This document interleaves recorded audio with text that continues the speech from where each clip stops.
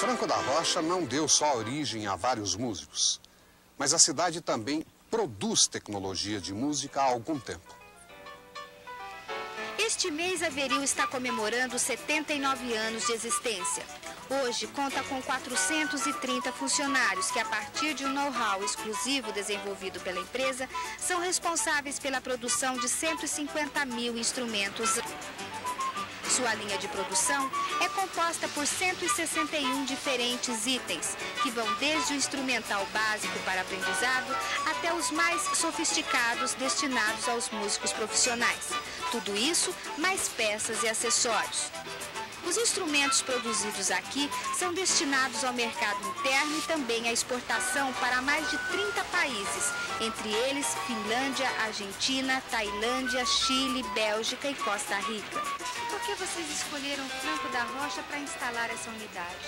É, Franco da Rocha é uma cidade industrial bem perto de São Paulo, que é o nosso grande mercado consumidor e que, que é, tem uma mão de obra qualificada, abundante. A Veril é a maior indústria de instrumentos de sopro e percussão da América Latina. Visão de pesquisa e desenvolvimento representa para a Veril é, um avanço tecnológico na tentativa de equiparação tecnológica do país.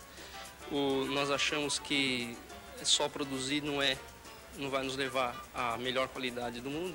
Então, isso depende muito da pesquisa e do desenvolvimento que nós fomos capazes de elaborar. Depois de um dia inteiro de muito trabalho, vários instrumentos estão prontos para a venda. Mas antes disso, eles precisam ser testados por quem entende da arte. Como é, senhor tenor? Esse saxofone está bom mesmo?